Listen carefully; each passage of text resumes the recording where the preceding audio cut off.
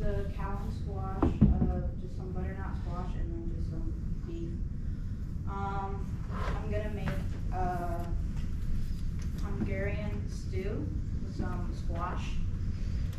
So basically, you're gonna just saute some onions in a skillet with, and then mix it with some paprika and black pepper. You're gonna cut the beef into some bite-sized pieces. Gonna give it like a quick rinse in a bowl. Um, so you're gonna put the beef in a skillet and brown all sides. Just, um, add some peppers, tomatoes, and some water if needed, just to, you know, not let it burn.